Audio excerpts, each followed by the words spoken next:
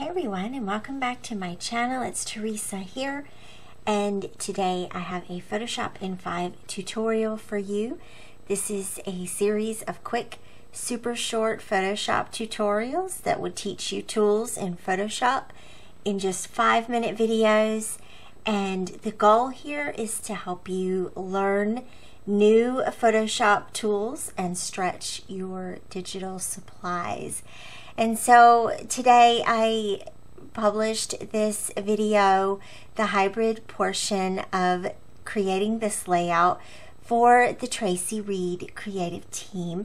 And so I wanted to just share with you real quick how I created the letters for this alphabet title. And so the alphabet and the solid pattern papers that I used for those letters are all in the Time to Thrive digital kit. And of course, I'll have links for that product down below. And uh, they were really easy to bring together in order to create this really cool title and gives you an opportunity to kind of make it your own.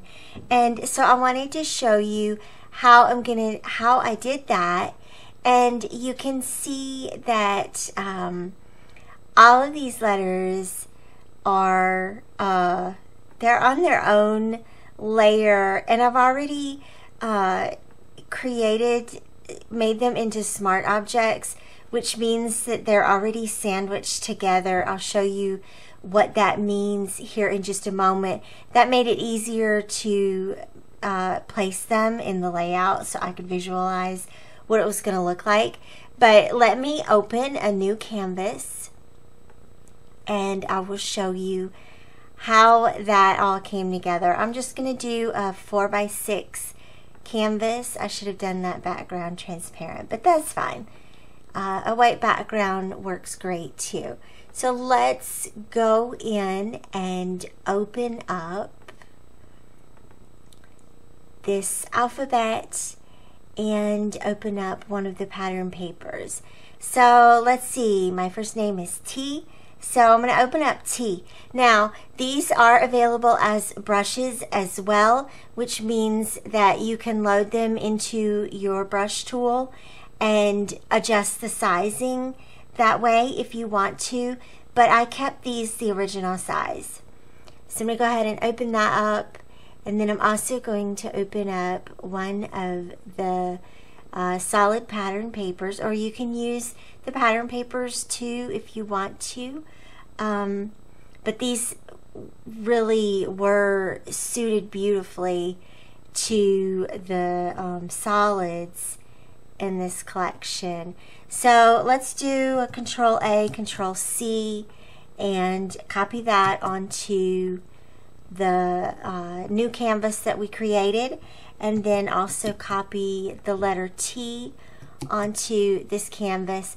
And so when you just bring them in like that, of course, you can see you have the whole canvas of the pattern paper and then the alphabet on top. So let's turn those off. Well, actually, leave the letter turned on, turn off the pattern paper for a moment, and go into your rectangle tool and select a color, a weird, a weird random color if you wish. And um, let's go ahead and draw a rectangle around this whole letter. And we're creating the bounding box. And then once we have that drawn, let's slide that underneath the pattern paper. Turn the pattern paper back on. Click onto the pattern paper and right click and create your clipping mask. And then that creates just the, the yellow rectangle, the layered stamp on top, and you've got a rectangle for your base that sets the whole size. And if you need to, you can go in and uh,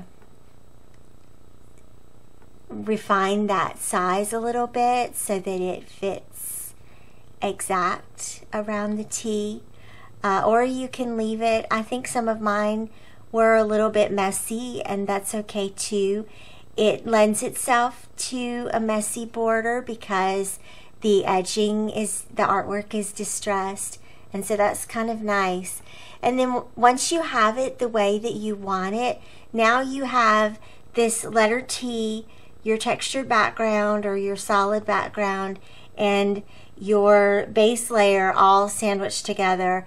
And so I'm going to select all three of those and then right click and convert it to Smart Object.